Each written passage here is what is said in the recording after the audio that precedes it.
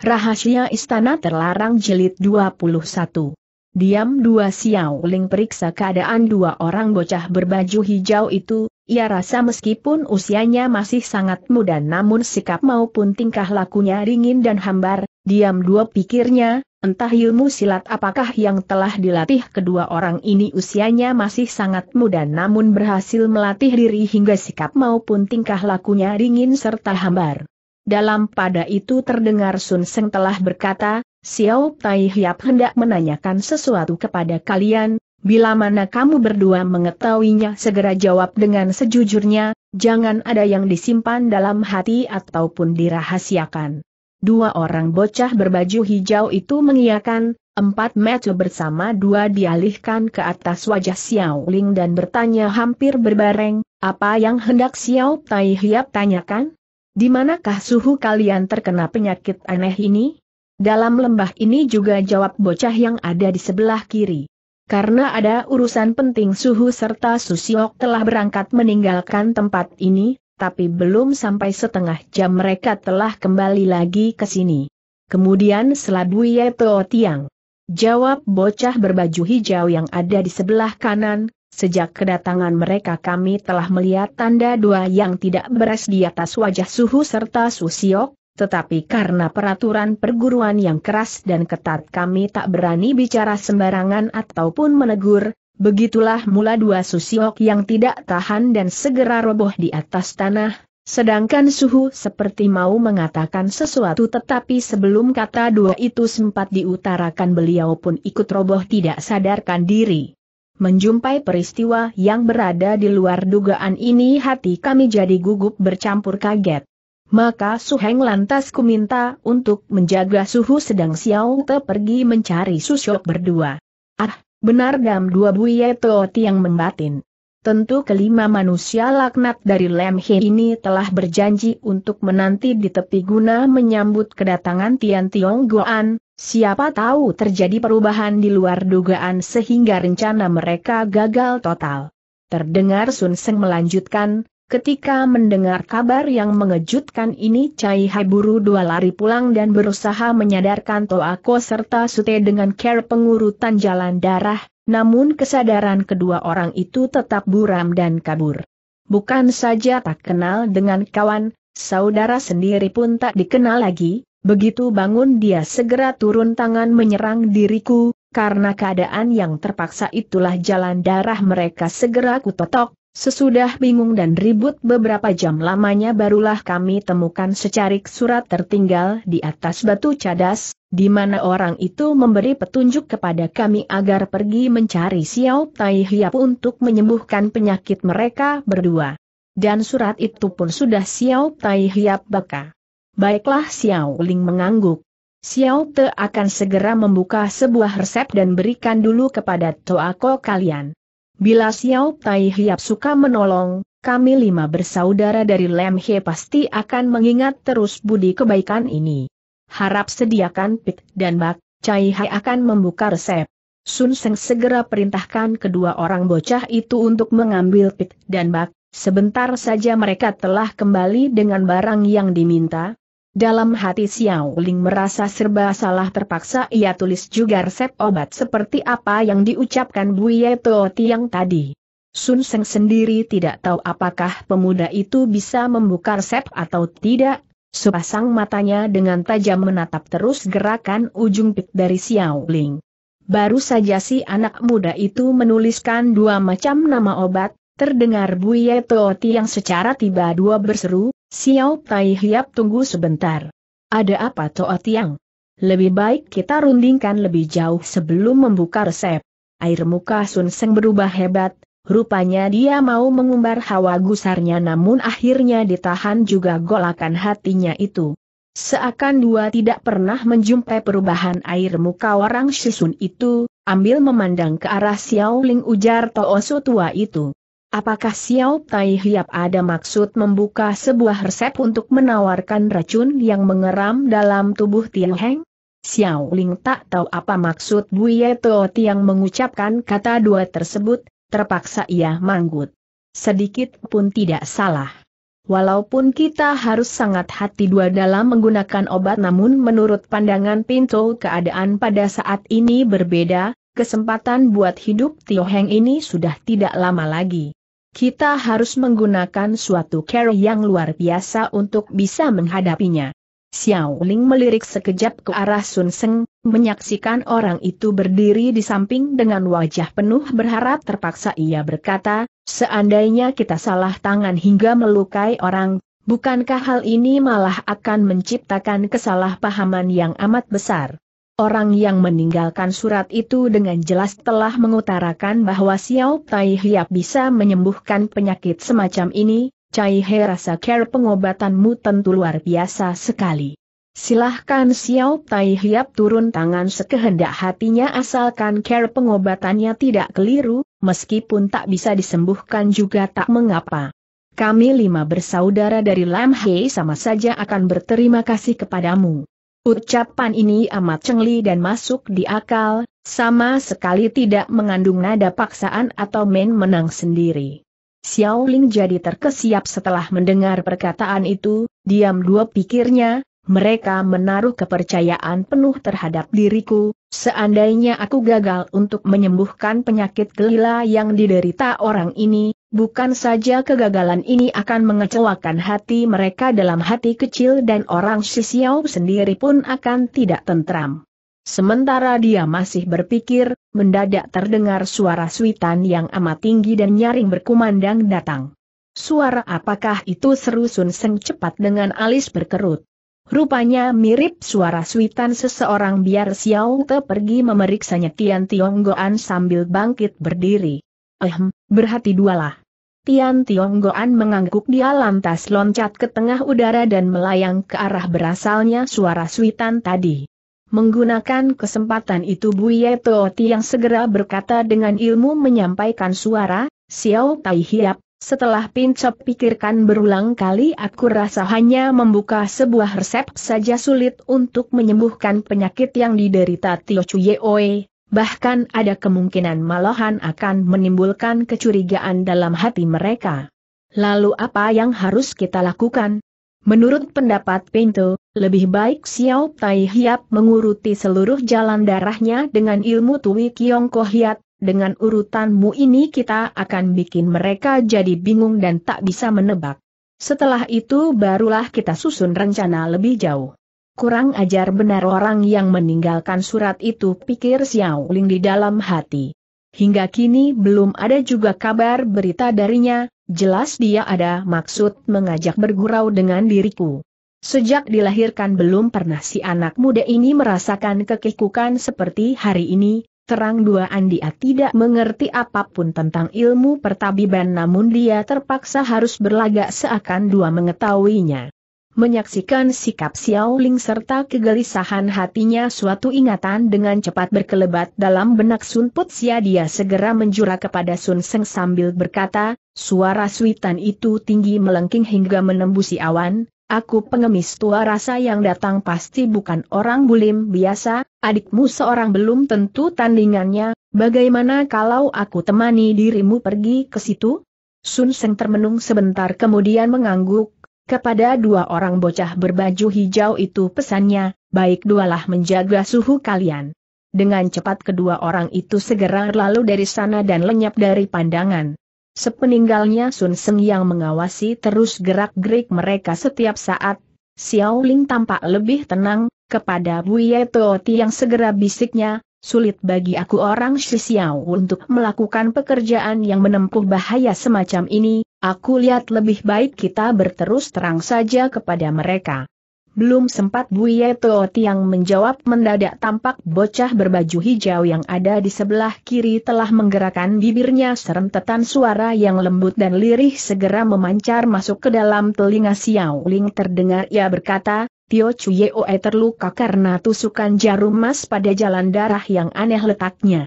Pada batok kepala bagian belakangnya tertancap tiga batang jarum emas, asalkan jarum emas itu kau cabut keluar maka kesadarannya akan segera pulih kembali seperti sedia kala. Beberapa patah kata yang halus dan lembut itu dalam pendengaran Xiao Ling dirasakan bagaikan guntur membelah bumi di siang hari bolong, seketika dia berdiri termangu dua.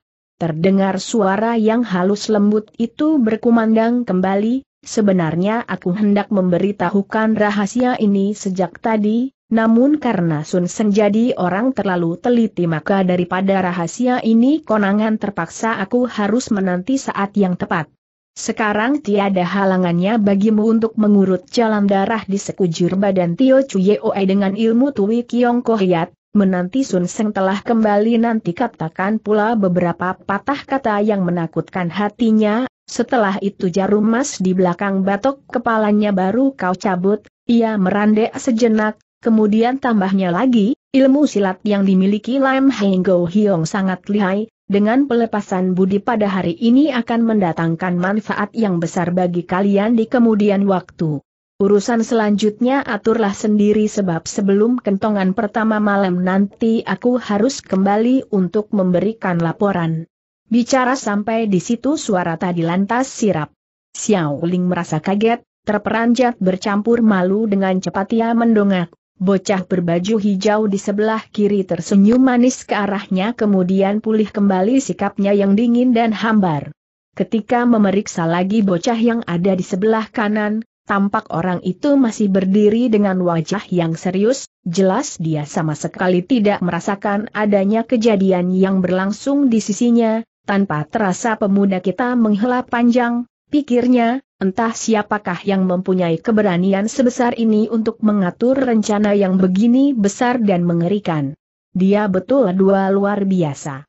Dalam pada saat itu terdengar Buye Tooti yang telah berkata, Xiao Tai Hiap, urusan telah menjadi begini kalau kita berpura dua terus mungkin Lam Heng Go Hiong akan menaruh curiga terhadap kita. Pintu rasa lebih baik aku ajarkan ilmu menusuk jalan darah dengan jarum mas kepadamu. Tusukan beberapa kali tubuhnya lalu tinggalkan satu resep kepadanya. Setelah utuh segera kita pamit. Xiao Ling mengerti suara yang didengarnya barusan hanya dia seorang saja yang mendengar, maka ia lantas menjawab, tak usah Tooti yang khawatirkan lagi, Cai Hai telah memperoleh cara untuk menyembuhkan penyakitnya. Sungguh seru Buye Tooti yang tertegun. Aku rasa tak berakal salah lagi, menanti Sun Seng telah kembali nanti kita segera turun tangan. Buye Tooti yang tahu bahwa Xiao Ling tak pernah bicara tanpa ada keyakinan yang penuh, tapi ia pun bingung dari mana secara tiba dua si anak muda ini berhasil memperoleh cara untuk menyembuhkan penyakit Tio Chuyeoe.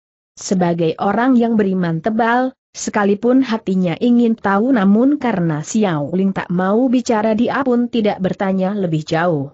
Tampak Xiao Ling ulur tangan kanannya memeriksa sejenak urat nadi di pergelangan kiri Tio Chuyeoe. Setelah itu tangan kanannya mulai menguruti beberapa jalan darah di tubuh orang si Tio tadi. Kurang lebih seperminum teh kemudian Sun Putsia, Tian Tionggoan serta Sun Seng baru muncul kembali di situ. Xiao Ling segera berhenti mengurut, sambil memandang wajah orang si Sun itu katanya, Sun Heng, apakah kau telah menemukan seseorang yang mencurigakan? Sun Seng menjeleng. Cai Hai telah mengelilingi sekitar tempat ini namun tak kujumpai jejak musuh yang berkeliaran di sini. Xiao Ling mengerti apa yang sebenarnya telah terjadi, keberaniannya semakin meningkat, setelah menghembuskan napas panjang katanya, Cai Hai sudah periksa denyutan nadi toako kalian dengan seksama, dan sama sekali tak kujumpai tanda penyakit di tubuhnya tetapi ia menunjukkan gejala dua edan, apakah sengaja dia berbuat demikian? Tentu saja tidak begitu. Lalu apa sebabnya? Dia sudah dibokong orang dengan cara yang luar biasa sekali, urat syarafnya telah terluka hingga kesadarannya jadi hilang. Reaksinya jadi lamban sekalipun ilmu silatnya tidak sampai punah sama sekali namun terganggu gerakan oleh sebab itulah kalian dengan mudah bisa menaklukkannya. Tidak salah, bagi orang lain tak nanti bisa hadapi Toako kami dalam seratus gebrakan saja, dia merandek sejenak, setelah tukar napas sambungnya, tanda dua penyakit telah ditemukan, apakah Xiao Tai Hiap telah mendapatkan pula care pengobatan?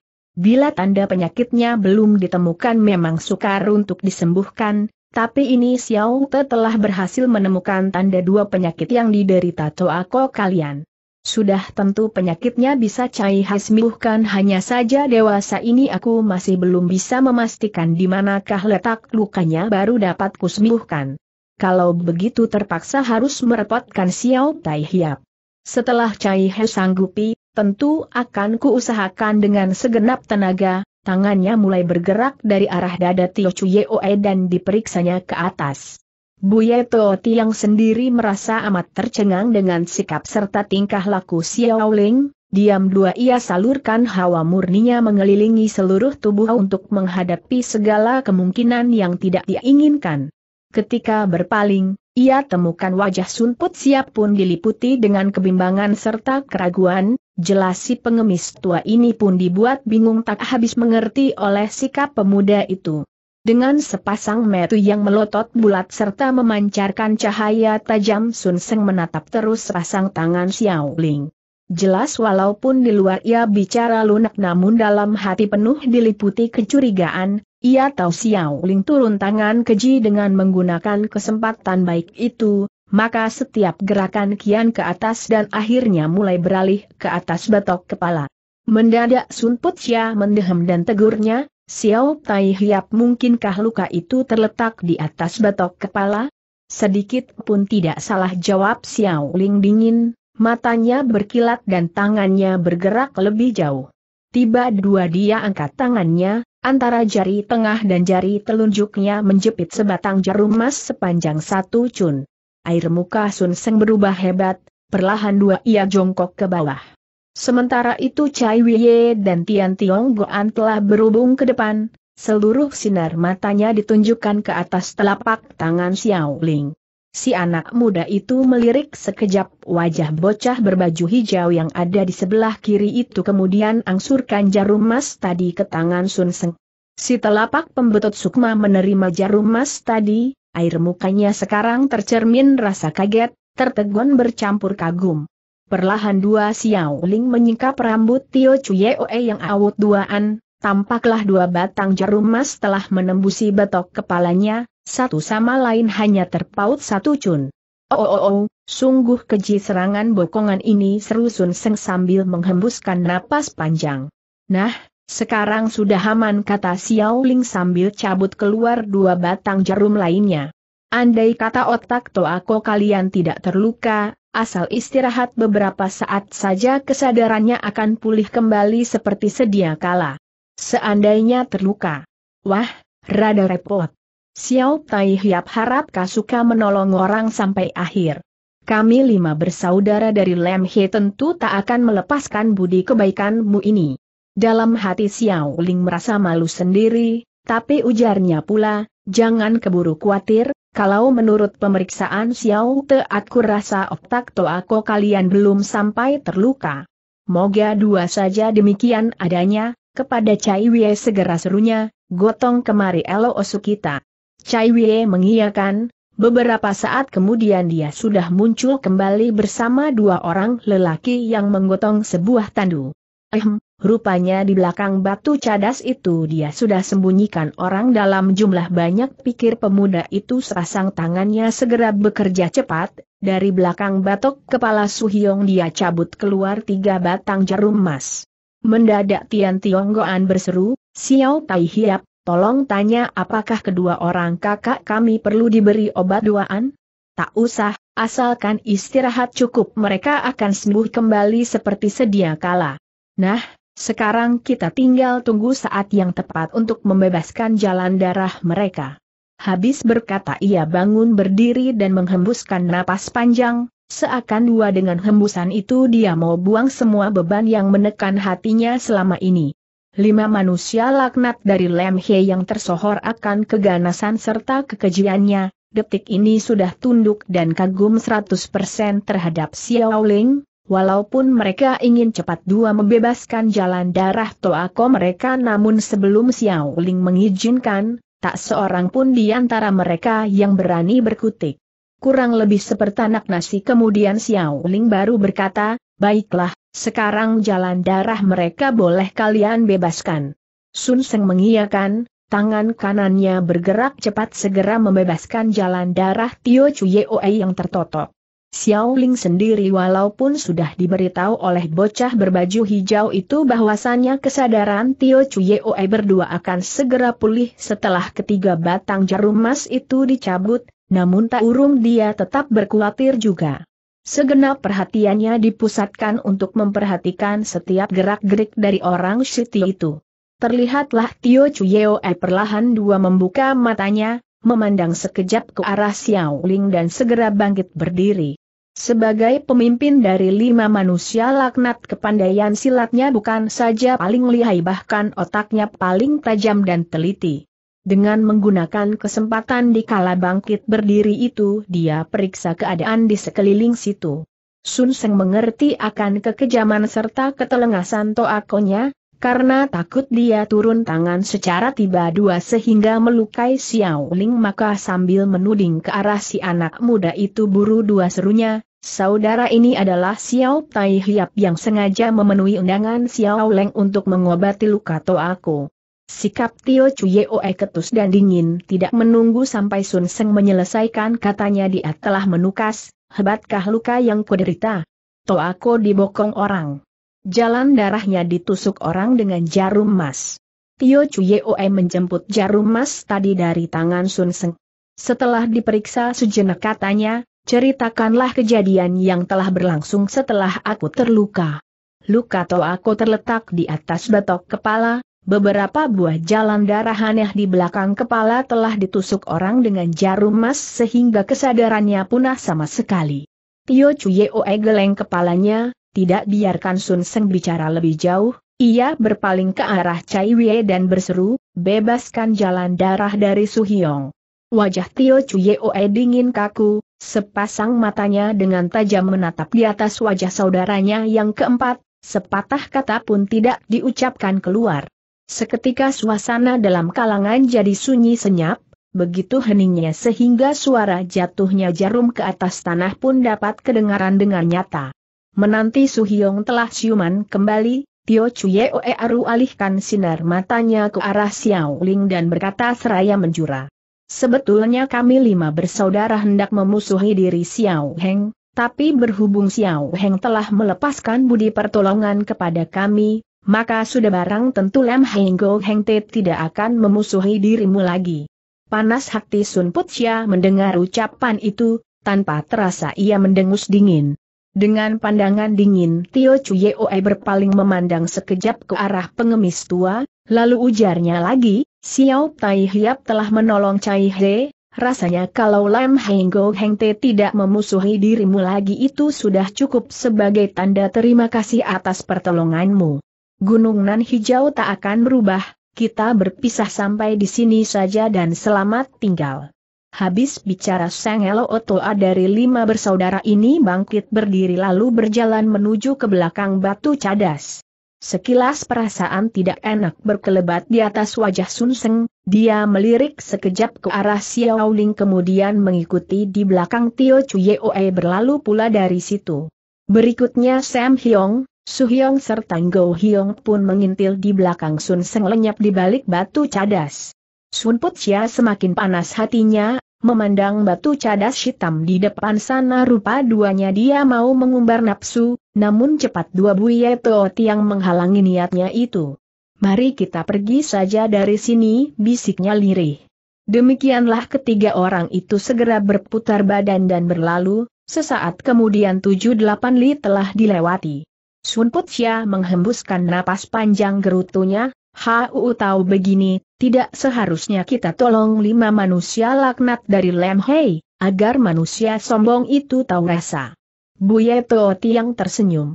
Kepandaian silat yang dimiliki lima manusia laknat dari Lem Hei memang luar biasa, namun permusuhan yang mereka ikut di kalangan bulim pun tak terhingga banyaknya, Terutama sekali perbuatan mereka membasmi Partai Gobie serta Qingxia boleh dibilang hampir memusnahkan segenap kekuatan inti dari kedua partai tersebut.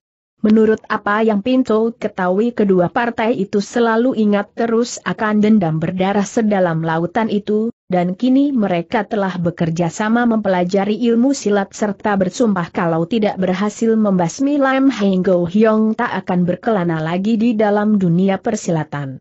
Seandainya kita telah mengadakan hubungan dengan kelima manusia laknat itu, bagaimana tanggung jawab kita di hadapan umat bulim di kemudian hari? Sun Put Sia termenung sejenak kemudian mengangguk. Ehm, perkataanmu memang tidak salah. Nah, itulah dia, apa sebabnya kita mengharapkan mereka baiki kita asalkan mereka tidak membantu Jen Bok Hang untuk memusuhi kita lagi, berarti kita sudah kehilangan beberapa orang musuh tangguh, hasil yang kita peroleh pun boleh dibilang sudah amat besar sekali. Toh Tiang bagaimana pandanganmu terhadap sumber bencana serta kekacauan yang sedang melanda dunia pesilatan dewasa ini mendadak Xiao Ling menyela. Mendengar si anak muda itu secara tiba-dua mengalihkan pokok pembicaraan ke soal lain Buya Toh Tiang rada tertegun, setelah termenung sejenak dia lantas balik bertanya, maksud Xiao Tai Hiap, siapakah pentolan dari sumber bencana serta kekacauan dalam dunia persilatan dewasa ini? Kalau membicarakan soal pentolan dari sebab duanya terjadi kekacauan dalam bulim dewasa ini sudah tentu bukan lain daripada Jen Bok Hang, maksud Cai Hai seandainya kita berhasil membinasakan iblis bongkok ini apakah pertikaian dalam dunia Kangou segera akan lenyap dan dunia akan jadi aman tentram? Dengan cepat Buye Tooti yang menggeleng. Menurut pandangan Pinto, sekalipun kita berhasil membinasakan Jen Bok Hang, paling banter untuk sementara waktu dunia Kangou akan jadi aman tenang, tetapi dalam kenyataan dunia persilatan masih berada di dalam cengkeraman nafsu dan ambisi, seorang iblis berhasil ditumpas akan muncul lagi iblis lain. Jadi kalau begitu meskipun Jen Bok Hang merupakan gembong iblis yang punya ambisi besar tetapi dia bukanlah sumber dari segala kekacauan serta bencana yang melanda dunia persilat dewasa ini tukas Xiao Ling. Sekalipun Jen Bok Hang amat keji dan telengas tetapi dia tidak lain hanya melambangkan sebagai seorang iblis yang jahat, kalau mau dicari sumber dari semua keonaran serta kekacauan yang melanda dunia persilatan dewasa ini maka haruslah kita katakan anak kunci istana terlaranglah sumbernya. Sejak ribuan tahun berselang ilmu silat makin berkembang mengikuti perubahan zaman dan pertarungan memperebutkan nama serta kedudukan. Setelah ilmu silat dua sakti itu beserta jago-jagonya lenyap di dalam istana terlarang maka semua orang tadi tertarik dan ingin tahu apa yang terjadi dalam istana tersebut. Setiap orang mempunyai pendapat yang sama yaitu barang siapa yang berhasil memasuki istana terlarang berarti tidak akan memperoleh hasil yang tak terhingga, sekalipun setelah memasuki istana terlarang belum tentu bisa menjagoi seluruh bulim, tetapi mereka telah berpendapat barang siapa ingin merajai dunia persilatan maka dia harus masuk dulu ke dalam istana terlarang. Kenapa setiap orang berpendapat yang demikian anehnya? Sebab kebanyakan orang percaya bahwa jago-jago sakti yang terkurung di dalam istana terlarang itu pasti telah meninggalkan segenap kepandaian silat sakti yang mereka miliki selama hidupnya. Oh, oh kiranya begitu. Buye Tooti yang menghembuskan napas panjang dan tertawa. Mungkin saja di dalam istana terlarang tiada terdapat benda lain kecuali beberapa sosok kerangka putih, katanya. Ia merandek sejenak, lalu tambahnya, sebelum pintu istana terlarang dibuka, siapa pun tak bisa menduga apa isinya istana tersebut, dan pintu sendiri pun hanya menduga dua mengikuti jalan pikiranku sendiri. Hanya saja dalam hati Pinto ada satu persoalan yang tidak kupahami, harap Xiao Tai Hiap suka menerangkan. Persoalan apa? Dari mana Xiao Tai Hiap bisa tahu kalau di belakang batok kepala Tio Chuyeoe telah ditusuk orang dengan tiga batang jarum emas? Oh, oh soal itu, Aai kalau bukan Cai Hai saksikan dengan mata kepala sendiri dan mendengar serta melaksanakan dengan tangan, barang siapa pun yang beritahu kepadaku, belum tentu aku mau percaya. Saudara Xiao serusun Putsia dengan alis berkerut. Kalau kau tidak berkata demikian, mungkin aku masih bisa menduga sedikit banyak, Tapi sekarang aku si pengemis tua malah semakin dibuat kebingungan. Barang siapa yang tidak tahu duduknya perkara dia tentu anggap kejadian ini rada aneh dan misterius, aku orang Shisiao lama sekali tidak mengerti akan ilmu pertabiban dari mana aku bisa tahu kalau di belakang batok kepala Tio Chuyeoe telah ditusuk orang dengan tiga batang jarum emas, tetapi kalau kubongkar rahasia ini sebetulnya sama sekali tak ada harganya, Sebab ada orang secara diam dua telah memberi bisikan kepadaku. Siapakah orang itu tanya Buye Teo Tiang. Apakah di antara lima manusia laknat dari Lem He telah terjadi saling bokong-membokong sambung Sun Put siap pula. Xiao Ling segera menggeleng. Aaii, kalau dikatakan memang akan membuat orang jadi tidak percaya, orang yang memberi bisikan kepadaku itu bukan lain adalah satu di antara kedua orang bocah berbaju hijau itu oh, oh, oh kiranya dia sungguh bikin orang sukar untuk percaya. Setelah jarum emas itu ditusukkan ke dalam jalan darah, kesadaran serta kejernihan pikiran seorang segera lenyap tak berbekas. Kepandaian ini jelas merupakan satu kepandaian yang dalamnya luar biasa. Mana mungkin bocah berbaju hijau itu tahu akan ilmu tersebut seru Seng pengemis kurang percaya. Dalam kenyataan memang dia yang memberi bisikan kepadaku dengan ilmu menyampaikan suara. Wah, wah, kejadian ini sungguh membuat Pincop jadi tak habis mengerti. Pada bagian yang mana Tooti yang merasa tidak mengerti, Pintu rasa kedua orang bocah berbaju hijau itu adalah anak murid dari Tio Chuyeoe, kenapa secara diam dua mereka malah membantu dirimu? Menurut bocah berbaju hijau itu katanya malam ini sebelum kentongan pertama dia akan berangkat pulang untuk memberi laporan kepada majikannya, sudah tentu dia bukan anak murid dari Tio Chuyeoe. Jadi maksudmu dia datang karena sedang menjalankan tugas majikannya untuk membantu kita secara diam dua?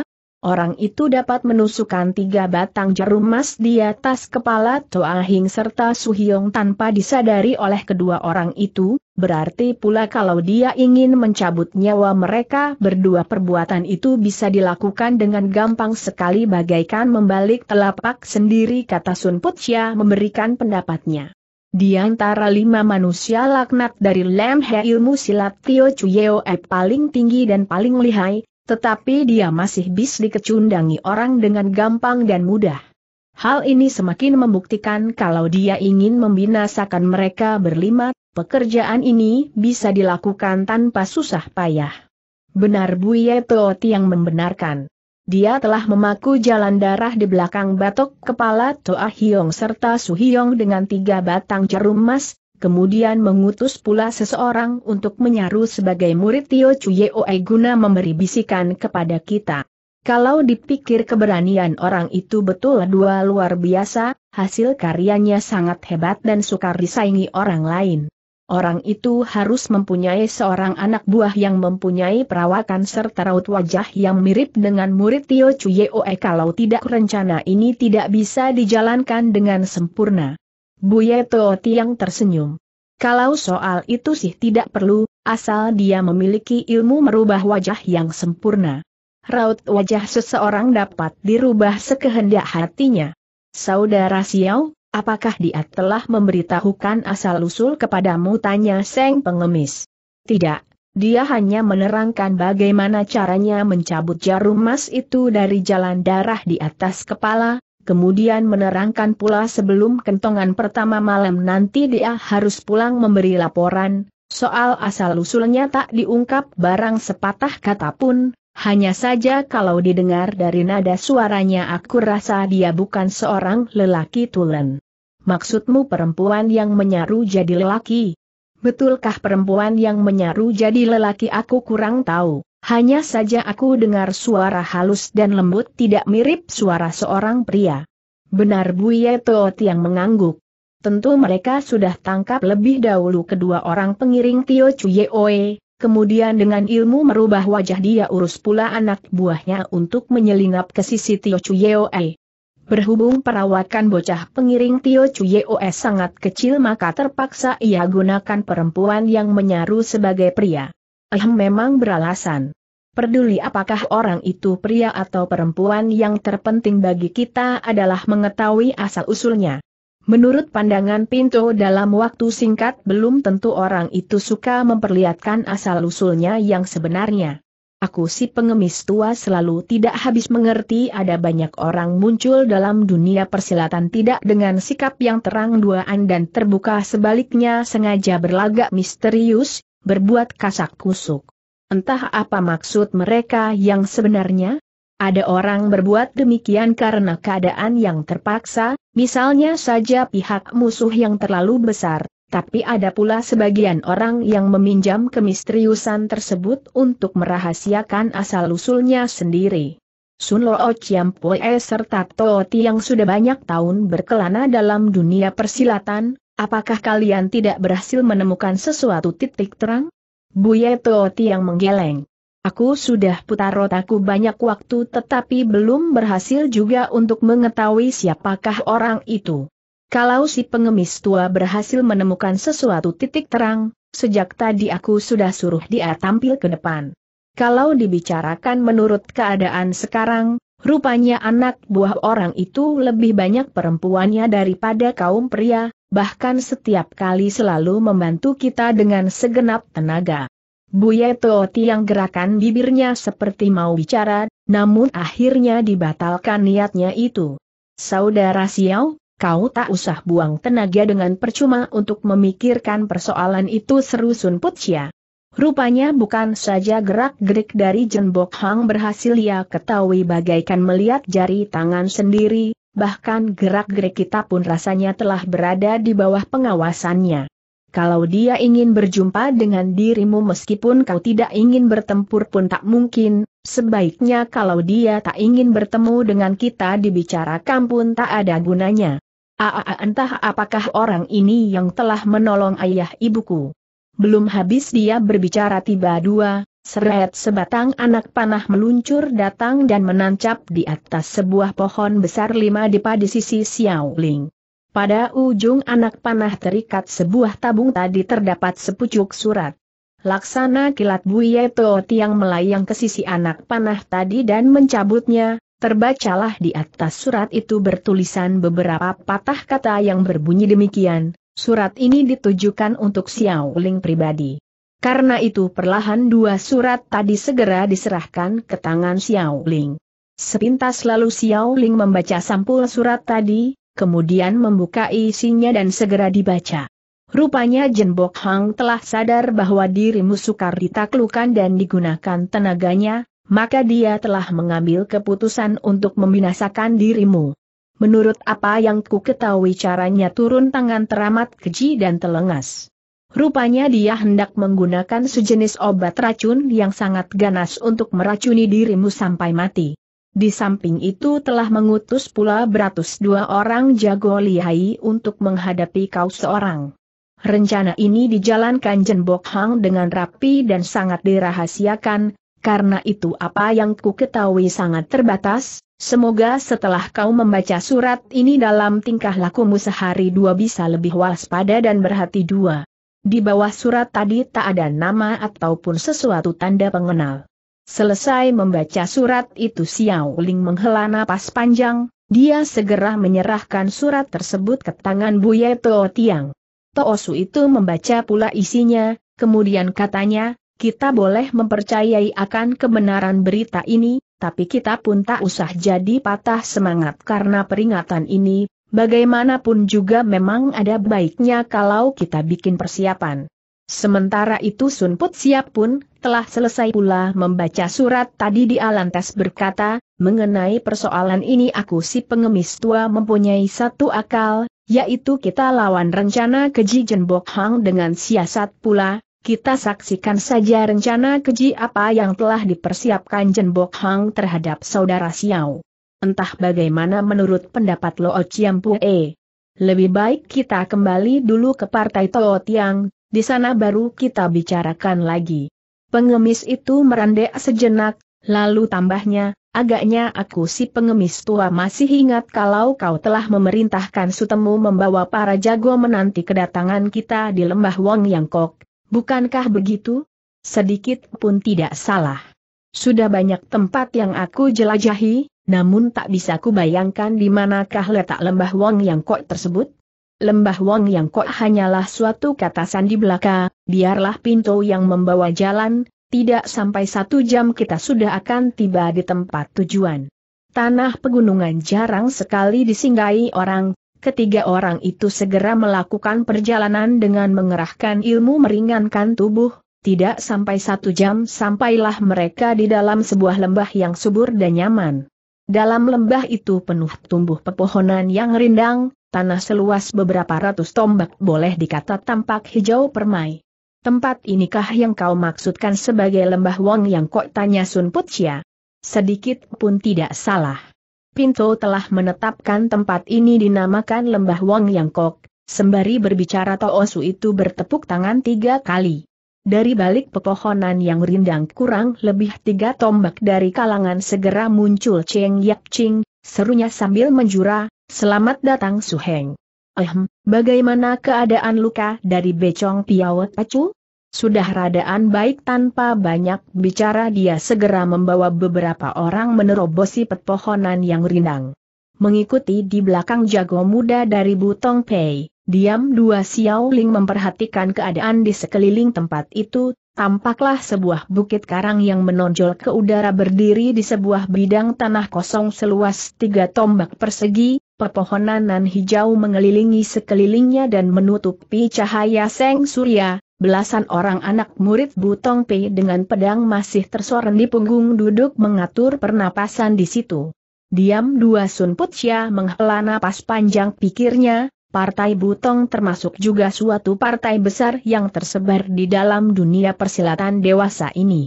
Hanya dikarenakan harus bermusuhan dengan pihak perkumpulan Pek Hoa San Chung, terpaksa mereka harus kumpulkan kekuatan inti partai untuk menyingkir ke sana kemari. Sementara itu terdengar Xiao Ling Xiao Ling bertanya, Sun Lo Chiam Poe, apakah kau mempunyai rencana bagus untuk menghadapi utusan dua yang dikirim Jembok Hang? Sun Put Chia mendongak dan tertawa terbahak dua. Care dari aku si pengemis tua hampang sekali, cuma kita mesti pandai ilmu merubah wajah. Pinton mengetahui sedikit banyak mengenai ilmu merubah wajah. Kalau begitu kebetulan sekali. Dia merandek sejenak, lalu sambungnya lebih jauh, dengan pelbagai macam akal Jenbok Hang berusaha hendak menculik orang tua saudara Xiao, Maksudnya bukan lain adalah Xiao Ling terjepit dan tenaganya bisa digunakan, tetapi keinginannya ini selalu tidak berhasil dipenuhi sementara dalam hatinya semakin merasa yakin kalau Xiao Ling adalah satu-duanya musuh tangguh yang bakal menghalangi cita duanya untuk menjagoi Bulim, maka dalam keadaan begini dia merasa betapapun juga saudara Xiao harus segera dilenyapkan maka itulah dikirim beratus dua orang jago untuk membinasakan saudara Xiao. Kendati begitu Jen Bok Hang pun bukan manusia bodoh, dia tentu tahu sampai di manakah kepandaian silat yang dimiliki Xiao Ling dan tahu pula sampai di mana kemampuan dari jago-jagonya. Karena itu menurut pendapatmu para jago lihai yang dikirim olehnya pasti membawa sesuatu benda yang luar biasa, dan tak usah pikir lebih lanjut benda itu pasti mengandung racun yang amat keji, karena itu aku si pengemis tua mengusulkan lebih baik utuslah beberapa orang murid Partai Butong untuk menyaru sebagai Xiao Ling yang mana secara diam dua aku serta saudara Xiao akan melindungi setelah kami pun dirubah wajahnya. Suatu ketika kita berhasil mengetahui senjata keji apakah yang mereka andalkan, rasanya tidak sulit untuk menghadapi manusia dua tersebut. Buye Tiang membungkam beberapa saat lamanya, sementara ia menatap wajah Xiao Ling tajam dua. Carry yang Lo Chiam Poe utarakan memang luar biasa katanya. Tetapi pintu rasa bukan suatu pekerjaan yang gampang untuk menyaru seperti wajah Xiao Tai Hiap. Itu pun tak ada sulitnya, asal kita bisa membali wajahnya sedikit banyak mirip dengan Xiao Tai Hiap kemudian kalau siang hari kita bersembunyi di dalam rumah penginapan dan menghindarkan diri dari perjumpaan dengan orang lain, asal kabar ini tersiar orang dua dari Jenbok Hang pun tidak akan mencari kita. Buye Toot yang mengangguk. Disebabkan nama besar dan pengaruh Jenbok Hang yang besar dewasa ini partai dua besar tak satu pun yang berani memusuhi dirinya secara terang-duaan, sebaliknya Xiao Tai Hiap bisa angkat nama dalam waktu singkat semuanya bukan lain adalah karena dia berani melawan kekuatan Jenbok Hang, Sejak dahulu hingga kini jarang sekali kita menemui manusia macam Xiao Tai Hiap yang bisa dihormati serta disegani orang dalam waktu yang tak seberapa lama. Dia angkat kepala dan menghembuskan napas panjang, sambungnya lebih jauh, letak partai Butong boleh dibilang paling dekat dengan perkampungan Pek Hoa Sancung sekarang kami telah menjadi sasaran utama dari Jenbok Hang. Aai sejak Tio Sam Hang Chow mendirikan Butong P belum pernah partai kami dipaksak orang sehingga harus mengungsi ke tempat lain, Linto sebagai seorang Chiang Bunjien bukan saja tidak sanggup menjayakan nama partai sebaliknya malah harus memimpin kekuatan ini. Butong Pei berkeliaran di mana dua. To Tiang, kau tak usah mendendam kewibawaan serta keberanian sendiri, di dalam dunia persilatan semua orang sanggup. Partai Xiao Lim sebagai pemimpin tulang punggungnya dunia Kangou, sebagai pemimpin kalangan lurus, tetapi dalam pandangan aku si pengemis tua tidaklah demikian, partai kalian dijadikan sasaran terutama dari perkampungan Pek Hoa Sancung, itu berarti Jenbok Hang lebih memandang tinggi partai Butong daripada Xiao Lim Pei. Buye Toh Tiang tersenyum. Lo Chiam Pue terlalu memuji Jenbok Hang memandang partai Butong sebagai sasaran yang terutama hal ini bukan lain disebabkan letak gunung kami yang menguntungkan. Chai Hei merasa tidak habis mengerti akan sesuatu persoalan, tolong Tooti yang suka memberi penjelasan tiba dua Xiao Ling menimbrung dari samping. Silahkan Xiao Tai Hiap utarakan persoalanmu. Tooti yang membawa semua inti kekuatan Partai Butong menyingkir kemari, apakah dalam istana Sam Goan Koan di Gunung Butong San masih ada kekuatan seandainya Jenbok Hang mengutus jago-jagonya untuk menyerang Sam Goan? Bukankah anak murid Tao Tiang yang ada di situ bakal runyam dan hancur binasa? Tentang soal ini Pinto telah memikirkannya jawab Buye Tao Tiang setelah termenung sebentar. Tetapi aku rasa Jenbok Hang sebagai jagoan yang licik dan berambisi besar dia tak nanti akan melakukan hal itu, Sebab meskipun dia basmi anak muridku yang ada di kuil Sam Goan Koan belum berarti partai Butong sudah roboh bahkan dengan adanya peristiwa tersebut mungkin malahan akan membangkitkan semangat juang jago-jago kami dan memperdalam rasa dendam kami terhadapnya pintu rasa Jenbok Hang yang licik tidak nanti akan berbuat demikian. Sedikit pun tidak salah, aku si pengemis tua pun mempunyai pendapat yang sama. Ah ah ah, kalau begitu maksud Buye Tiang dengan membawa jago-jago partainya berkelana di dalam dunia persilatan tidak lain adalah untuk menghindari serbuan secara besar duaan dari Jenbok Hang pikir Xiao Ling di dalam hati. Mendadak terlihatlah Sun Put Chia mendepahkan kakinya keras dua ke atas tanah sambil berseru, hingga kini aku si pengemis tua belum juga habis mengerti, apa sebabnya sembilan partai besar tidak mau bersatu padu untuk memberikan suatu pelajaran yang keras atas diri Jenbok Hang bila waktu kian hari kian berlarut kekuatan serta pengaruh Jenbok Hang akan semakin kuat, apakah mereka baru mau bangkit berdiri setelah alis mati mereka terbakar? Ai, meskipun perkataan Lo Chiam sedikit pun tidak salah, namun masing dua partai besar mempunyai kesulitannya masing dua kata Buye Tooti yang sambil menghela napas. Menurut apa yang Pinto ketahui, para Ciang Bunjien dari pelbagai partai besar bukannya tidak mengetahui akan pendapat itu. Cuma saja kekuatan dari Jenbok Hang terlalu besar dan kuat, siapa pun tidak ingin menjadi panglima pembuka jalan. Aaai, satu kali salah melangkah bisa jadi segenap partainya bakal musnah, oleh sebab itu para partai besar secara diam dua telah memilih jago-jago andalannya untuk mencari berita anak kunci istana rahasia dengan jalan menyaru, mereka berharap bisa mendapatkan ilmu silat peninggalan jago-jago tadi dan berhasil menaklukkan Jenbok Hang, angkat nama partainya dan menjagoi Bulim. Berbicara sampai di sini ia merandek dan menoleh memandang sekejap ke arah Xiao Ling, setelah itu ujarnya lagi, Pinto ada beberapa persoalan yang rasanya tidak pantas untuk ditanyakan, namun Pincel berharap Xiao Tai Hiap suka menjawabnya. Apakah persoalan itu menyangkut soal kunci istana terlarang sahut Xiao Ling sambil tersenyum. Sedikit pun tidak salah, menurut berita yang tersiar di dalam dunia persilatan katanya anak kunci istana telah jatuh ke tangan Gak Im Kau, entah benarkah kabar tersebut? Kendati Bo Ampoe pernah berjumpa dengan Gak Im Kau sahut Xiao Ling seraya menggeleng. Namun pada waktu itu Bo Ampoe masih merupakan seorang bocah yang sama sekali tidak mengetahui urusan bulim, tentu saja tidak mengerti pula akan persoalan anak kunci istana terlarang tersebut.